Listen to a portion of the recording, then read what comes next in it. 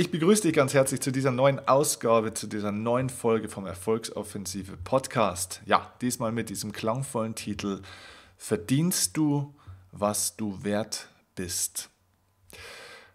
Diese Folge handelt in erster Linie vom Thema Selbstwertgefühl, Selbstvertrauen und natürlich auch der finanziellen Anerkennung, die wir bekommen im Leben und die direkt mit unserem Selbstwertgefühl gekoppelt ist.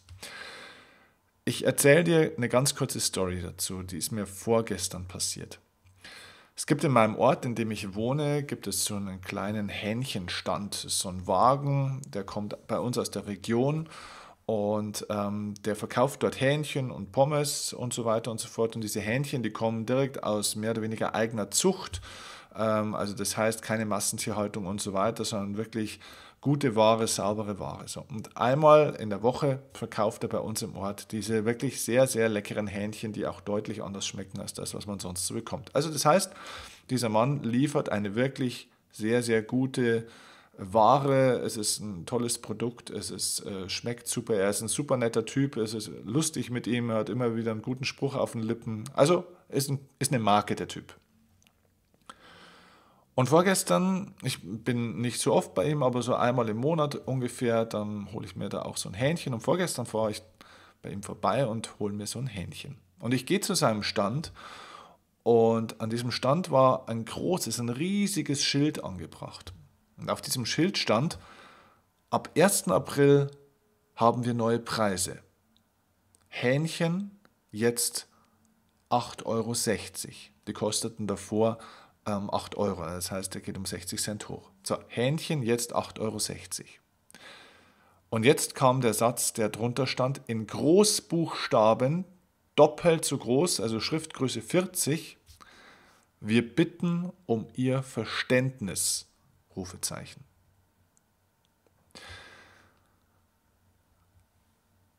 Da musste ich schon kurz schlucken, dass ich mit ihm nicht in eine Diskussion gekommen bin um ihn zu fragen, hey Alter, sag mal, warum entschuldigst du dich denn eigentlich für deinen Preis?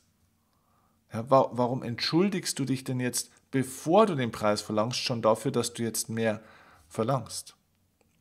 Und das ist so eine wunderbare äh, symbolische Geschichte für das, wie es uns ganz, ganz oft ja auch geht. Und ich kenne das so stark von mir selber und deswegen habe ich mir auch gedacht, muss ich eine Podcast-Folge dazu machen, weil ja, man spricht ja oftmals über die Themen, die einen selber auch betroff, betreffen. Ich kenne das auch von mir selber. Ich habe bis heute auch teilweise eine innere kleine Blockade noch dagegen. Also es ist schon 95 Prozent besser, aber es ist trotzdem noch ein bisschen da, dass ich manchmal auch auf einer Bühne, wenn ich bin und so weiter, ein Problem habe, wenn ich den Leuten dann erzähle, was meine Seminare kosten. Und das ist so ein Bullshit, weil die Frage ist doch nicht, was du verlangst. Die Frage ist doch, was du bietest. Schau, woran bewertest du, was deine Dienstleistung wert ist? Also ganz gleich, ob du jetzt ein Angestellter bist oder ob du selbstständig bist oder Unternehmer bist. Ganz gleich, ob du Produkte verkaufst oder Dienstleistungen, Servicedienstleistungen. Ganz egal. Aber woran bewertest du, was diese Dienstleistung oder dieses Produkt wert ist. Und jetzt kann man sagen, ja gut, es gibt ja Vergleichsprodukte. Ne? Es gibt ja andere, die machen vielleicht was Ähnliches. Ne? Also was weiß ich, wenn jetzt jemand Kosmetiker ist, dann weiß man, eine Kosmetikbehandlung kostet so und so viel. Oder wenn ich jetzt ein Auto verkaufe, kosten vergleichbare Autos so und so viel. Oder wenn ich jetzt ein Coach bin, dann weiß man ungefähr, was ist der durchschnittliche Honorarsatz äh, für einen Coach. So, also das heißt, es gibt einen marktüblichen Preis. Und jetzt frage ich dich ganz ehrlich, bist du wirklich jemand, der sich von anderen seinen Wert vorschreiben lässt? Denn ganz ehrlich, dein Preis sollte das widerspiegeln, was du wert bist. Was bist du wert und was ist auch deine Zeit wert? Und wir haben das irgendwann mal gelernt, dass wir unseren Preis und somit den Wert unserer Leistung in Messgrößen definieren, wie zum Beispiel, was markt- und branchenüblich ist, also was irgendeiner mal festgelegt hat. Oder in Zeit zum Beispiel. Also das heißt, eine Arbeitsstunde wird dann abgerechnet mit 30, 50, 70, 100, 150 Euro, je nachdem. Und das Interessante ist, je nachdem, in welcher Branche man ist, wird es unterschiedlich abgerechnet, oder? Das heißt, eine Stunde hat keinen Wert. Also eine Stunde hat keinen festen Wert. Wenn ich jetzt frage, eine Putzfrau, was bekommt eine Putzfrau, eine Putzhilfe in der Stunde? Dann liegen wir in einem Bereich von 10 Euro, 12,50 Euro, vielleicht 14 Euro maximal in Großstädten. Wenn ich jetzt zu einem Steuerberater gehe, dann liegt eine Stunde hier zwischen 50 und 80 Euro im Durchschnitt. Wenn ich jetzt zu einem Coach gehe, dann liegt eine Stunde im Wert von 80 bis 120 Euro im Durchschnitt in Deutschland. So, so hat jede Branche ihren Stundensatz mehr oder weniger, der marktüblich ist. Plus, du merkst schon, der Wert ist extrem unterschiedlich. Und jetzt kommt der entscheidende Punkt. Es gibt Steuerberater, die verlangen für eine 4-Stunden-Beratung 4000 Euro. Das ist ein Stundensatz von 1000 Euro. Es gibt Leute im Coaching, zum Beispiel mich,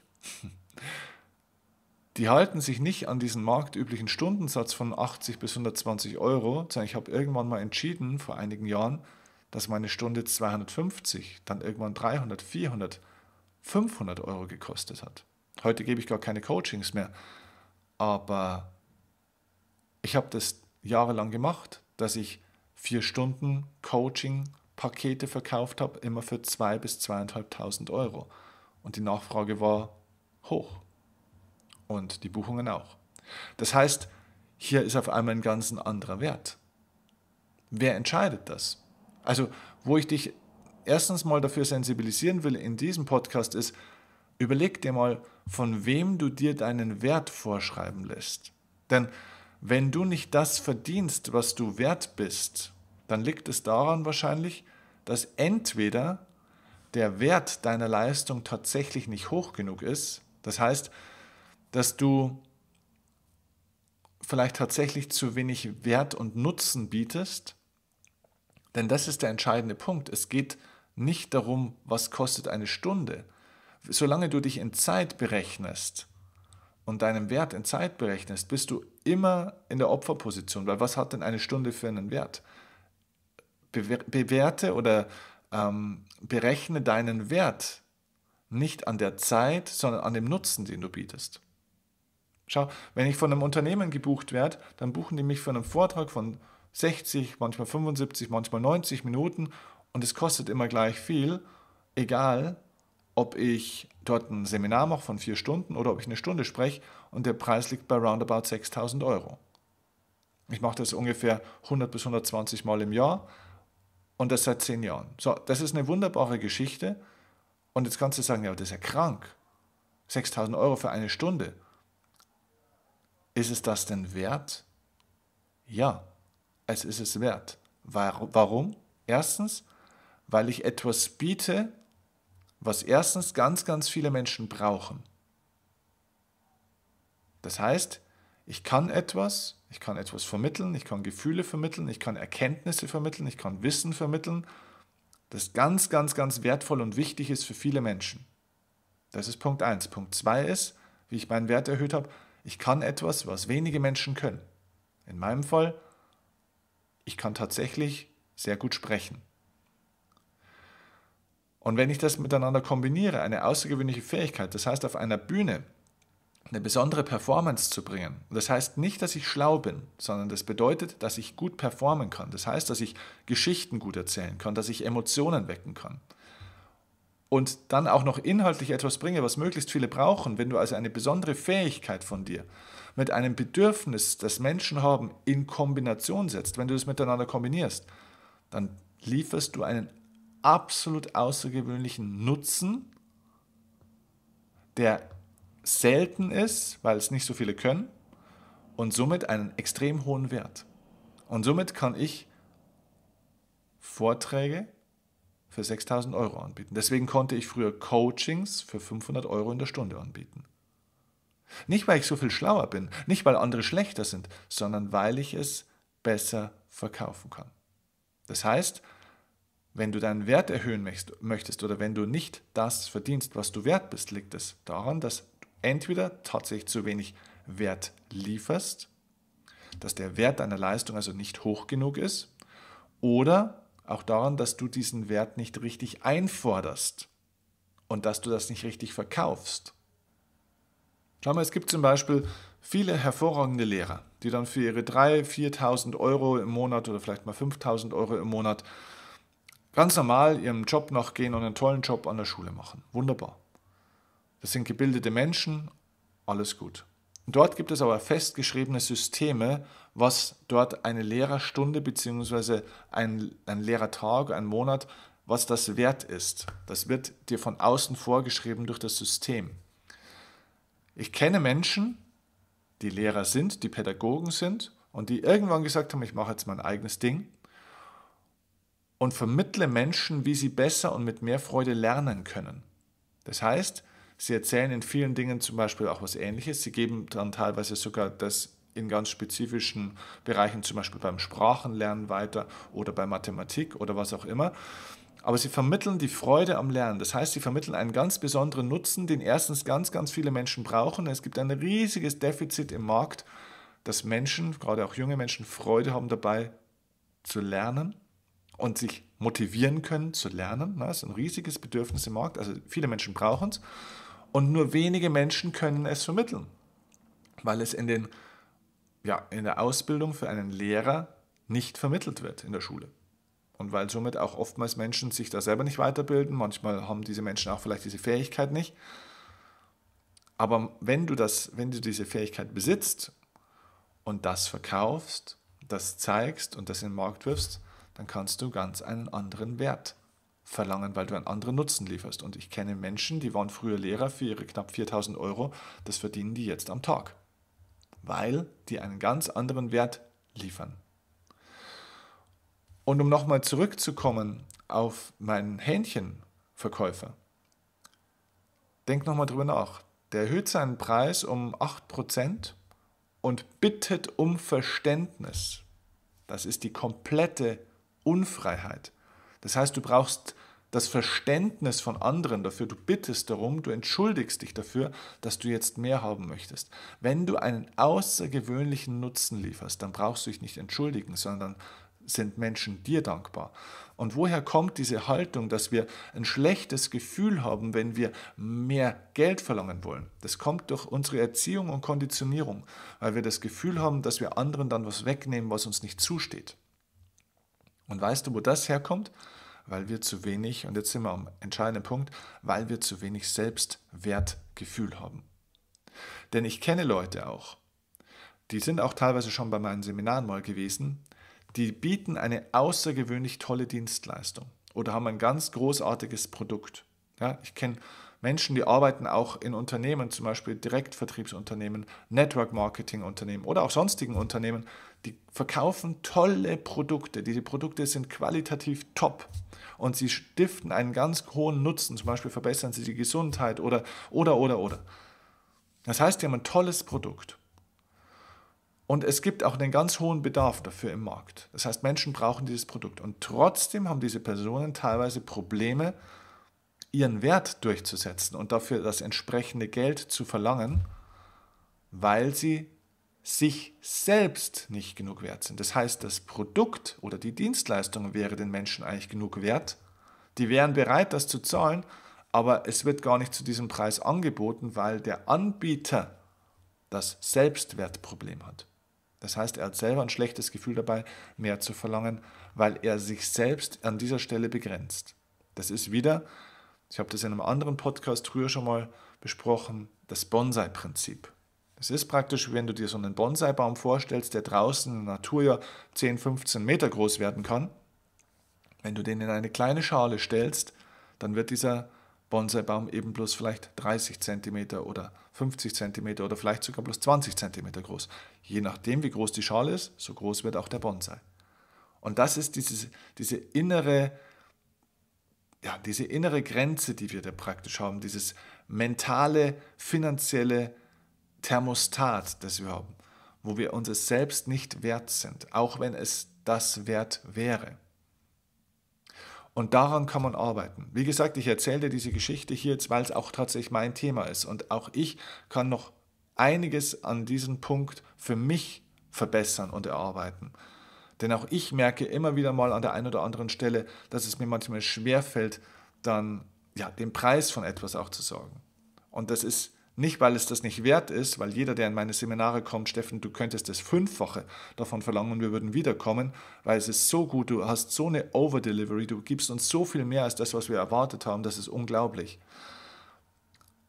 Also das heißt, es ist wert, es kommt an, es ist super, bloß ich selbst habe vielleicht an der einen oder anderen Stelle noch das Thema, dass es an meine eigene Bonsai-Schale andockt, weil ich feststelle, wow, das ist echt ein Wert, da muss ich mich selbst hinterfragen, nicht ist das, ist meine Dienstleistung den Menschen das wert, sondern ist es mir denn das selbst wert? Bin, bin ich mir das wert? Und das hatte ich früher das Problem, dass ich irgendwann, als ich Redner geworden bin, gesagt habe, wow, 3.000, 4.000 Euro, so habe ich damals angefangen, dann auch 3.000, 4.000 Euro für einen Vortrag zu verlangen bin ich mir denn das wert? Also bin ich selbst 3.000, 4.000 Euro in der Stunde wert? So, das war ein Thema nur in mir. Und das ist etwas, was du an dieser Stelle verstehen darfst, ist, du verdienst das, was du wert bist bisher. Was du dir selbst wert bist. Nicht, was dein Wert wäre, sondern was du verdienst das, was du dir selbst wert bist. Die Zahl auf deiner Lohnabrechnung und auf deinem Bankkonto spiegelt dein Selbstwertgefühl. Und deswegen, wenn du mehr Geld haben möchtest, wenn du mehr in die finanzielle Freiheit kommen willst, wenn du mehr verdienen möchtest, auch musst du dein Selbstwertgefühl auch erhöhen, diesen Wert für die Menschen auch besser kommunizieren, vielleicht ein Stück weit, oder eben auch Mehrwert stiften. Wenn du darüber mehr wissen möchtest, wenn du da mehr lernen möchtest, dann lass uns gerne zusammenarbeiten. Es gibt verschiedene Möglichkeiten an der Stelle. Eine Möglichkeit, und das ist die beste Möglichkeit, mit uns in Kontakt zu kommen, mit meiner Arbeit in Kontakt zu kommen, mit mir zu arbeiten, zwei Tage, ist die Erfolgsoffensive. Das ist mein zweitägiges Einstiegsformat, wo wir ganz stark auch an diesem Thema Selbstwert arbeiten. Das heißt, hier kriegst du die Grundlage dafür, dass du dieses, ja, dieses Thermostat, diese innere Grenze, dass du das sprengen kannst. Das heißt, dass du diese alte Bonsai-Schale wegwirfst und durch, durch eine viel größere ersetzt, dass der Baum wieder wachsen kann. Vielleicht können wir dich sogar komplett draußen in der freien Natur gleich einpflanzen, dass du keine Limits mehr hast in deinem Kopf. Also, dass du diese innere Dimension praktisch sprengen kannst, die dich noch klein hält. Das passiert bei der Erfolgsoffensive. Es sind zwei Tage, ist ein hochemotionales Event mit vielen Menschen, wo du wirklich eine intensive Erfahrung machst. Das heißt, du bekommst dort auf der einen Seite das Wissen, wie du das machst, ganz konkrete Techniken und Strategien. Wir machen alle Techniken auch praktisch bei diesem Seminar, sodass du auch wirklich, und das ist der entscheidende Punkt, dass du dort eine, ein Erlebnis, eine Erfahrung hast. Äh, Wissen alleine hilft irgendwann nicht mehr, sondern du musst es erleben. Das mentale Thermostat, diese innere Dimension, diese Grenze des Selbstwertgefühls sprengt man nur durch neue Erfahrungen und am besten mit anderen Menschen zusammen. Das ist also die erste Möglichkeit, die ich dir wirklich ans Herz legen will, Informier dich über die nächsten Termine ähm, auf unserer Webseite dazu erfolgs-offensive.de. Wir haben jetzt in dem Jahr 2019 ähm, nochmal zwei Termine. Wir sind im Juli in München und im Oktober in Berlin. Also nutzt diese Chance, um hier an deinem Selbstwertgefühl mit uns zu arbeiten. Die andere Möglichkeit, die es auch noch gibt, ist, wenn du das in Bezug auf deinen Beruf, auf eine eigene Selbstständigkeit, auf dein eigenes Business machen willst, dann gibt es hier ein Spezialformat, das ist die Business Masterclass. Dort lernst du, wie du als Selbstständiger ganz andere Honorare erzielst, wie du eine Marke aufbaust, indem du wegkommst von diesem Angebotsmarketing, so nach dem Motto, das ist meine Dienstleistung, ich biete hier Massagen oder sonst irgendwas an, ähm, oder dieses und jenes Produkt, sondern wie du dafür das Doppelte oder ein deutlich höheres Honorar verlangen kannst, indem die Leute aufhören, das Angebot zu kaufen, sondern den Anbieter, also dich, Also wo du lernst, wie du eine Marke wirst, wie du dich als Marke auch inszenieren kannst, wie du somit deine Honorare deutlich erhöhen kannst und somit auch für einen ganz anderen Kundenstrom sorgen kannst, weil du endlich klar positioniert bist, weil du nicht mehr vergleichbar bist mit anderen, weil die Leute nicht mehr dein Angebot mit, dem, mit anderen Angebotern, Angeboten vergleichen, sondern weil sie wirklich zu dir kommen. Ja, wenn Menschen zu meinen Seminaren kommen, kommen sie nicht zu einem Motivations- und Erfolgsseminar, sondern sie kommen zu Steffen Kirchner weil, er eine, weil Steffen Kirchner ist eine Marke. Ja? Ähm, Robbie Williams ist eine Marke. Also da komme ich nicht zu einem Sänger, da höre ich mir nicht Musik an, weil wenn ich Musik anhören wollen würde, dann könnte ich mir auch die CD von Robbie Williams kaufen und da ist sie vielleicht sogar noch besser, weil sie da perfekt im Studio abgemischt ist. Um das geht es nicht. Es geht nicht um das Produkt, es geht um den Produktanbieter. Also da gibt es von mir ein Spezialseminar, das heißt Business Masterclass, zwei Tage in einer kleinen Gruppe, sehr intensiv für alle, die sich selbstständig machen wollen oder schon selbstständig sind oder auch Unternehmer, Unternehmerinnen sind und hier deutlich finanziell erfolgreicher werden wollen. Schau auch hier auf die www.business-masterclass.eu, wichtig, nicht de, sondern .eu. Ähm, du findest aber auch die Links zur Erfolgsoffensive und auch zur Business Masterclass unten einfach in den Show Notes oder in der Beschreibung, wenn du das auf YouTube hier jetzt anhörst. Äh, einfach schauen, einfach draufklicken und informier dich und lass uns gemeinsam arbeiten, denn meine Erfahrung ist, ähm, also so war es zumindest bei mir, mein Selbstwertgefühl zu erhöhen, habe ich für mich alleine nicht geschafft. Dafür brauchte ich Unterstützung. Wichtig für dich jetzt als To-Do, erstens, steigere den Wert deiner Leistung, indem du dir klar machst, was ist das, was die Menschen draußen wirklich brauchen, was ist der perfekte Nutzen für die Menschen wenn du dann, wenn du den Wert deiner Leistung optimiert hast, dann kommuniziere diesen Wert besser, lerne verkaufen, lerne Marketing. wenn du es nicht kannst, komm zur Business Masterclass. Und drittens vor allem steigere dein Selbstwertgefühl. Und damit würde ich auf alle Fälle auch mit anfangen, da würde ich auf alle Fälle was machen, weil es hilft nichts, auch zu wissen, was die Leute wollen und das beste Produkt zu haben äh, wenn es keiner weiß und wenn du vor allem es selbst nicht spürst, dass du wahnsinnig gut bist und dass du es wert bist, etwas anderes zu verlangen, dann wird es auch keiner bezahlen und dann ja, wirst du es wahrscheinlich gar nicht anbieten oder dich wie mein Hähnchenmann eben dann entschuldigen für den Preis. Wir bitten um ihr Verständnis. Okay, ich wünsche dir viel Erfolg dabei und freue mich auf deine Rückmeldungen zu dieser Folge gerne bei YouTube als Kommentar, gerne als Mail und wenn dir die Folge gefallen hat, wenn sie eine gute Inspiration für dich war, freue ich mich vor allem über eine 5-Sterne-Bewertung, die du mir jetzt bei iTunes gibst. Einfach kurz ähm, ja, den Podcast bewerten, dauert ein paar Sekunden und gerne natürlich auch eine Rezension schreiben. Es ist Wahnsinn, was ihr da immer alles schreibt. Wir haben schon hunderte mittlerweile von Rezensionen und Sternebewertungen. Also vielen, vielen Dank dafür. Und ja, falls du es noch nicht gemacht hast, wäre ich dir jetzt sehr dankbar, wenn du das nachholen magst. Liebe Grüße und bis zum nächsten Mal. Ciao, dein Steffen Kirchner.